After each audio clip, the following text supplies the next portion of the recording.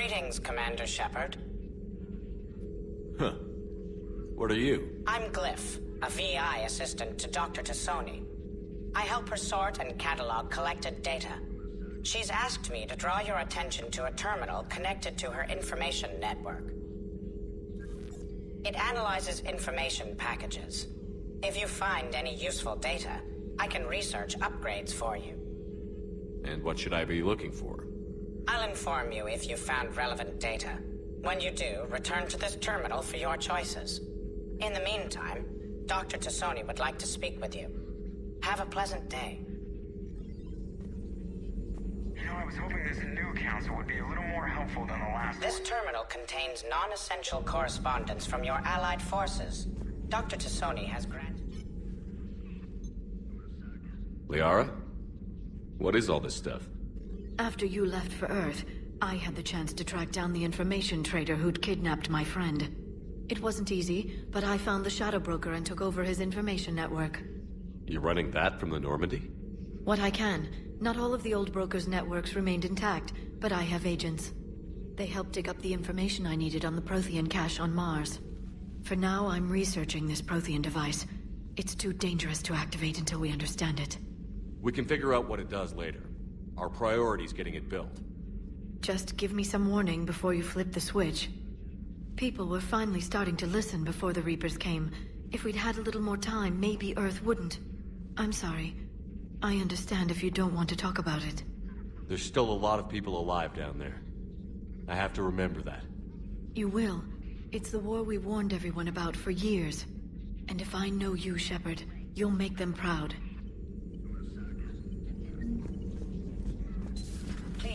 Enjoy your day.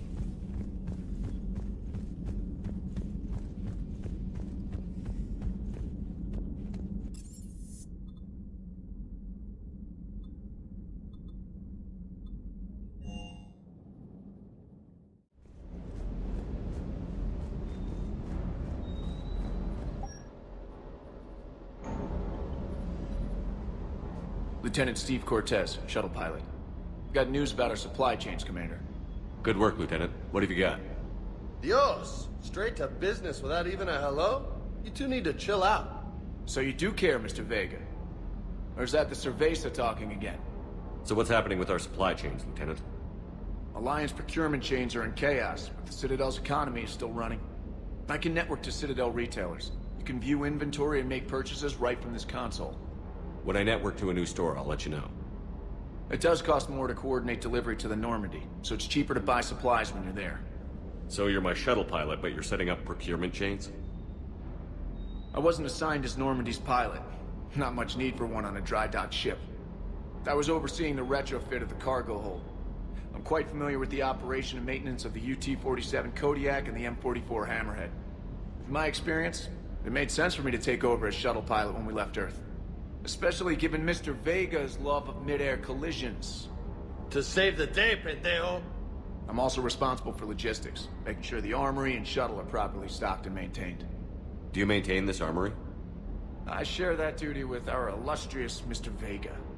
Though I believe the only weapon he really cares to maintain is himself. You know you love the show, Esteban. The first retrofit we did was to move the armory down from Deck 2. I'm not sure what Cerberus engineers were thinking. Now you get off the elevator, pick your gear, and head right into the shuttle. Just like the original Normandy. Welcome back to the Alliance, Commander. Keep up the good work. Yes, Commander.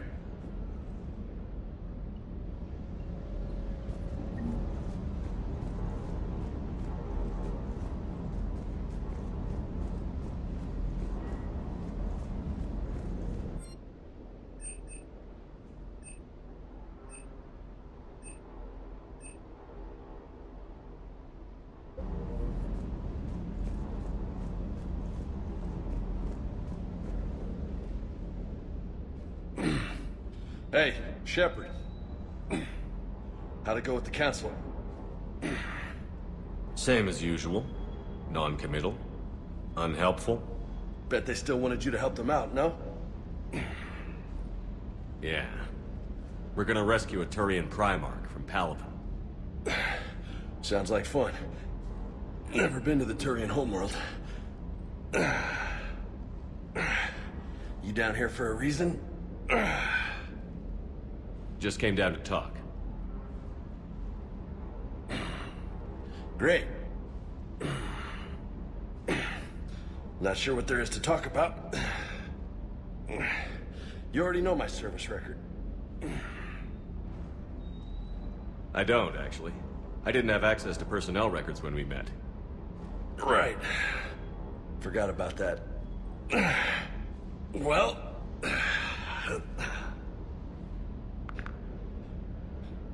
Think you can dance and talk at the same time? Yes, I can, Lieutenant. You pulling rank on me, boss? We're just soldiers down here, no? Sure. But this soldier will clean the floor with you if you step out of line. Ha! You sound like my old CO. Oh, yeah? And who was that? Captain Toni. He was a hard-ass son of a bitch, but a good leader. Nice. What do you mean, was? Died. With most of my squad. Protecting a civilian colony from a collector attack. And the colony? It was either them, or the intel we had on the collectors. Intel we could have used to destroy them. I chose the intel. Sorry. That's a tough call.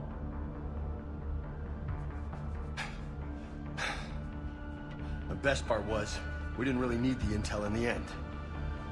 Because you were out saving the galaxy by taking down the entire Collector homeworld. You didn't know. You can't blame yourself, Vega. Who says I'm blaming myself? I do. You a shrink too? Nope. But that stunt back on Mars was reckless. You're lucky to be alive. So? So, maybe you don't care if you live or die. Or maybe... I'm just willing to do whatever the fuck it takes to end this goddamn war. Maybe you are. But if you're half as good as I think you are, we need you alive. Thanks for the pep talk.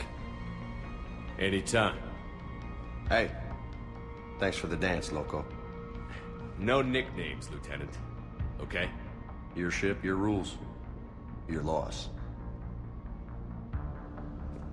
Commander.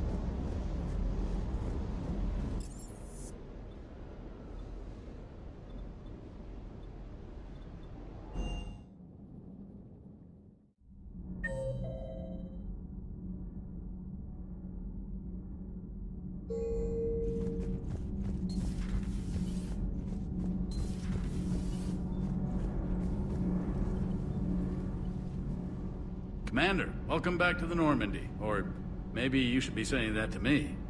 Engineer Adams. What are you doing here? I was put in charge of the drive core retrofits. My experience on the Normandy SR-1 made me an obvious choice. So, what do you think of our SR-2? She's incredible. If there's one nice thing I can say about Cerberus, it's that they know how to build a ship. And about that, Cerberus, I mean, I owe you an apology.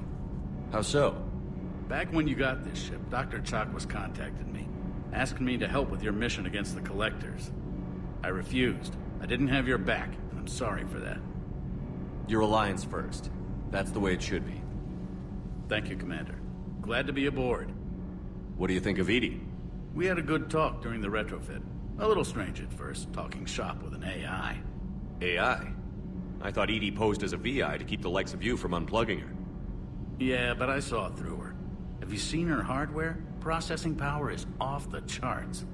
And then there were the problems that kept fixing themselves. If I hadn't had her pegged, I would have sworn I was losing it. You never expressed any skepticism, Lieutenant Adams. I figured I'd better play it safe with the Cerberus AI, EDI. No offense. None taken. As long as you keep your fingers out of my cognizance processors. In the beginning, I tried disconnecting her from key processes without giving myself away. Easier said than done. But Joker seemed to trust her, and in time I saw her advantages. Even grew to like her. Carry on, Adams. Aye, aye, sir.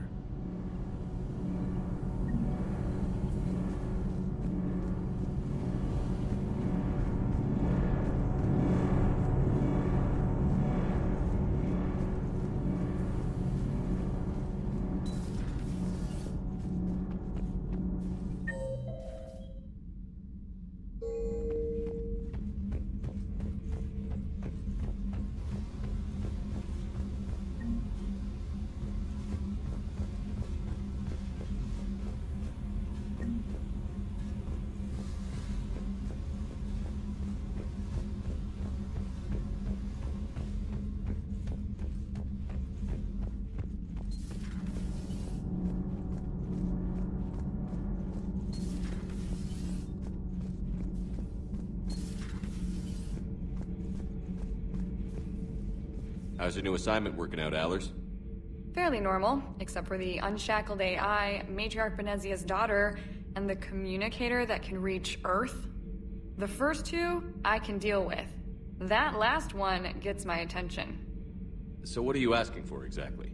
Anything from Earth is the lead story right now. That's not opinion, it's fact. Maybe I can pass on a few non-classified progress updates. Seriously? You just doubled my ratings. I don't need FaceTime, just a data upload. Your story is Cerberus. They're a clear and present danger to everything we try to do. Alien audiences will hate them. Hmm. So they're traitors to Earth and the galaxy. I wouldn't have to torque it much. And you do have an inside track on Cerberus. Alright, you feed me your info, and I'll keep biting.